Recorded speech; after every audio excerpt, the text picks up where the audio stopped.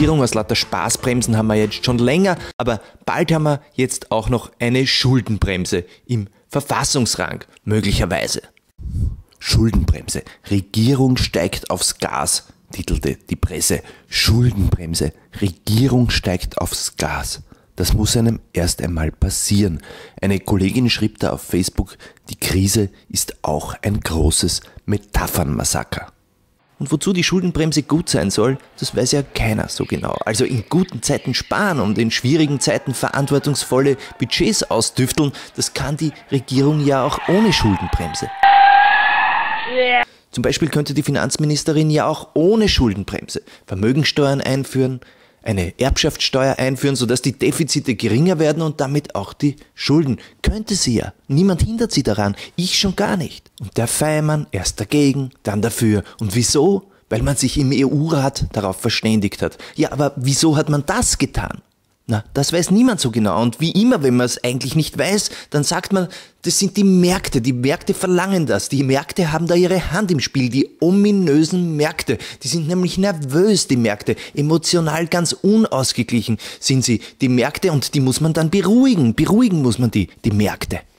Und die Märkte, die warten auf das Signal einer Schuldenbremse, sagt man uns. Der Herr Felderer sagt uns das beispielsweise, der IHS-Chef und Chef des Staatsschuldenausschusses. Der hat aufgeregt herumgefuchtelt und gesagt, wir werden unser AAA nicht halten können. Unser AAA, schlecht schaut's aus mit unseren Finanzen und da könne er es gut verstehen, wenn die uns unser AAA wegnehmen, hat er gesagt. Der Chef des Staatsschuldenausschusses. Und irgendwie hat er mich da an einen Feuerwehrhauptmann erinnert, der auch gern mal zündeln will. Nein, im Ernst, was den IHS-Chef dazu geritten hat, Panik herbeizureden, das würde ich gern mal wissen. Also jedenfalls an der Spitze des Staatsschuldenausschusses hat so jemand nichts mehr verloren. Also, die Märkte erwarten das, sagt der Herr Felderer und der Spindelecker und der Feimann haben das dann auch eingesehen und jetzt gibt's also bald eine Staatsschuldenbremse. Und jetzt könnte ich mich, wie Sie sich sicher vorstellen können, lange darüber mokieren, dass sich demokratisch gewählte Politiker von irgendwelchen Märkten, irgendwelchen anonymen Finanzmärkten etwas diktieren lassen. Da könnte ich mich zehn Minuten oder länger drüber aufregen, aber ich lasse das jetzt mal. Denn vielleicht sollte man mal die Frage stellen, woher wissen die eigentlich, was die Märkte wollen? Haben die mit den Märkten gesprochen? Nein, weil die können ja nicht reden. Deren erratische Signale, die kann man ja nur interpretieren. Früher befragten die Griechen das Orakel, heute befragt Europa die Finanzmärkte, aber die Kommunikation mit dem Orakel war jedenfalls einfacher, schrieb der Heribert Prantl unlängst in der Süddeutschen Zeitung. Also, woher wollen die eigentlich wissen, dass die Finanzmärkte eine Schuldenbremse wollen, dass die Finanzmärkte unsere Staatsschulden als das allergrößte Problem überhaupt ansehen? Das können die gar nicht wissen, und zwar, weil die Finanzmärkte das nämlich gar nicht tun. Das finde ich nämlich das Beste an unseren Experten, die dauernd trommeln, man müsse das tun oder jenes, wegen den Finanzmärkten, denen muss man gehorchen, den Finanzmärkten. Dass die nämlich nicht einmal in der Lage sind zu verstehen, was die Finanzmärkte wollen.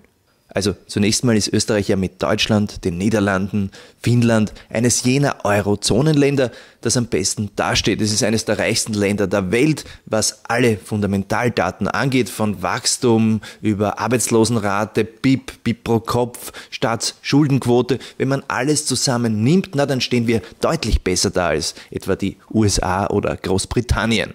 Also warum sollten die Finanzmärkte gerade mit uns ein Problem haben? Na, wenn es da einen Grund gibt, dann natürlich zuerst mal wegen der österreichischen Banken. Die Bank Austria im Strudel der italienischen Misere, Raiffeisen die erste Bank im Osteuropa-Krisensumpf und verzockt haben sie sich auch. Nicht die Schulden des Staates bedrohen das AAA, sondern unsere Banker. Aber nicht einmal das ist das zentrale Problem.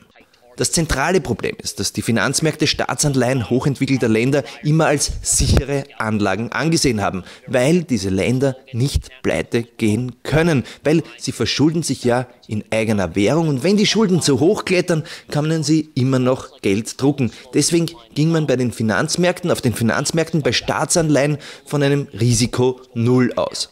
Aber in dieser Eurozonenkrise ist nun Folgendes passiert. Da haben die Staats- und Regierungschefs und vor allem die Europäische Zentralbank klargemacht, nein, so ist das in der Eurozone nicht mehr.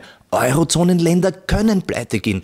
Die anderen werden sie nicht rauspauken. Und die EZB wird, anders als etwa die Zentralbanken der USA, Großbritanniens oder Japans, auch nicht Geld drucken, um einen Bankrott einzelner Eurozonenländer zu verhindern. Und das hat fundamental was verändert. Eurozonenanleihen sind Risikopapiere, hat man auf den Finanzmärkten gemerkt, und amerikanische, britische oder japanische Anleihen sind es nicht. Und deswegen zahlen die meisten Länder in der Eurozone höhere Zinsen als Amerikaner, Briten oder Japaner. Jetzt frage ich Sie, was glauben Sie, wollen uns die Finanzmärkte damit sagen? Dass unsere Schulden zu hoch sind? Aber die sind ja viel niedriger als die der USA. Dass wir eine Schuldenbremse einführen sollen? Aber die Spanier, die haben gerade eine Schuldenbremse eingeführt, obwohl Spanien einen ganz niedrigen Staatsschuldenstand hat, sogar niedriger als Deutschland. Aber trotzdem sind die spanischen Zinsen weiter gestiegen. So eine Schuldenbremse scheint die Finanzmärkte also eher kalt zu lassen. Aber dann liegt doch eigentlich der Verdacht nahe, dass uns die Finanzmärkte ganz offensichtlich etwas ganz anderes sagen wollen. Dass die Europäische Zentralbank endlich so agieren soll wie jede verantwortliche Zentralbank der Welt, die garantiert, dass es keinen Bankrott geben kann in der Eurozone. Ja, das ist es. Das fordern die Finanzmärkte offensichtlich von uns. Man muss nur verstehen, wie sie ticken, die Finanzmärkte, die Finanzanleger. Und eigentlich ist es ganz simpel, das versteht eigentlich jedes Kind. Stellen Sie sich vor, Sie sind Anleger und dann müssen Sie in unsicheren Krisenzeiten Portfolioentscheidungen treffen. Und Sie wollen Ihr Geld nicht riskieren, also Sie wollen nicht höhere Zinsen für höheres Risiko, nein, Sie wollen möglichst maximale Sicherheit dann leihen Sie es doch eher einem Land, dessen Zentralbank glaubwürdig garantiert, dass Sie es ganz sicher zurückkriegen, auch möglicherweise durch Inflation ein bisschen entwertet, als dass Sie es einem Land leihen, von dem Sie nicht wissen, ob Sie Ihr Geld zurückkriegen.